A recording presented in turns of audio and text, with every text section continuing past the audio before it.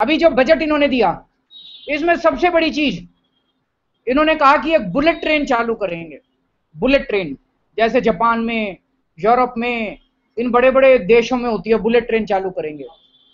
मुंबई से अहमदाबाद तक की ये गाड़ी होगी।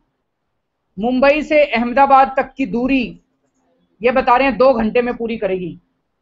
और इसकी टोटल लागत साठ हज़ार करोड़ रुपए आएगी, साठ हज़ार करोड़ रुपए इसकी लागत आएगी।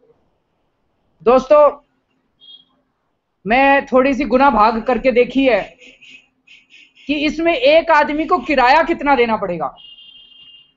और मेरी जो गुना भाग दिखाती है कि इस ट्रेन में मुंबई से अहमदाबाद तक यात्रा करने के लिए एक तरफ़ का, एक आदमी का पिचहत्तर हज़ार रुपए का किराया होगा। एक आदमी का एक तरफ़ का मुंबई से अहमदाबाद तक का पिचहत्तर हज़ार रुपए ट्रेन का किराया होगा, बताओ।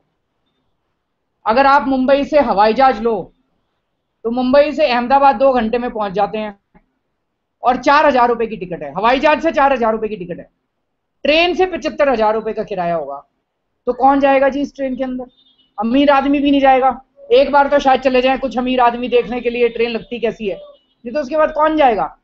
किसके लिए बना रहे हैं ये ट्रेन नरेंद्र मोदी जी किस देश की बात कर रहे हैं? उनको पता होना चाहिए, भारत है। यहाँ पे आधी से ज़्यादा जनता गरीब है। यहाँ पे मजदूर, किसान अपने गाँव से निकल के शहर की तरफ़ आते हैं नौकरी ढूँढने के लिए। ये बुलेट ट्रेन किसके लिए बना रहे हैं?